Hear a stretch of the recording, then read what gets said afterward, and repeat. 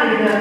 Ve yukarıdan kıyıcımıza tekrar ediyorum yeni kurulan Ziraat ve Doğa Bilimleri Fakültemize tekrar hoş geldiniz.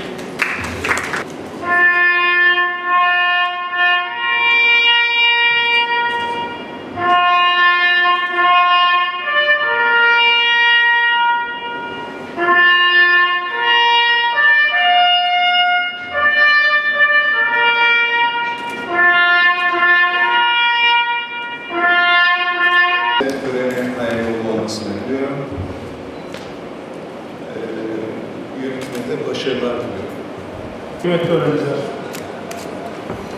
Recep Tayyip Erdoğan Üniversitesi Pazar Ziraat Fakültesi tarafından organize edilen Türkiye'de tarım eğitiminin 168.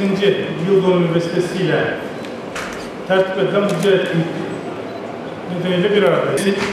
Genç kuşak ziraatçılara ve mesleğin duayenlerine günlerinin kuruluş yıl dönümlerinin kutlu olmasını temenni ediyorum. Burada çok konuyla alakalı değil ama 10 Ocak Türkiye'de aynı zamanda çalışan gazeteciler günü. Kendime baktığım zaman aynı zamanda Türk İdareciler Günü olmasa sebebiyle iki farklı vesileyi de tevafuk etmekte. Hem kendimize hem şu anda pazarlara ve Türkiye'ye buradaki yapılan etkinliği iletme, misyonunu ileten gazeteci arkadaşlarıma günlerin kutlu olmasını temenni ediyorum. Toprak üzerine üretim yok olan bir şeyin var edilmesi anlamında tüm sektörlerin ham maddesini oluşturması insanoğlunun geleceğinin güvencesi anlamında karnını doyurabilmesi anlamında en önemli meslek olduğu kanaatini taşımaktayım.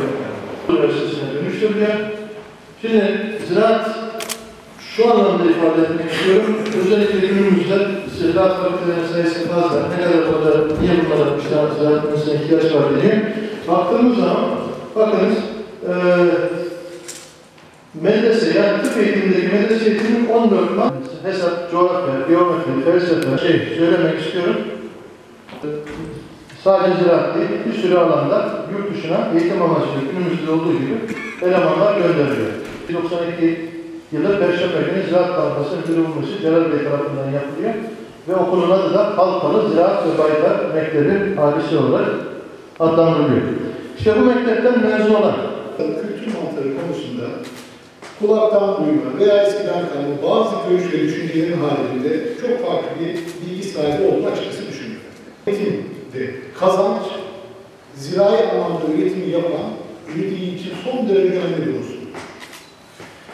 Zirai alanda şu anda günümüz koşullarında tarımsal üretimde bilim alanından en fazla getiri sahibi olan iki tane sektör var. Bunlardan bir tanesi dinheiro, mano, cara.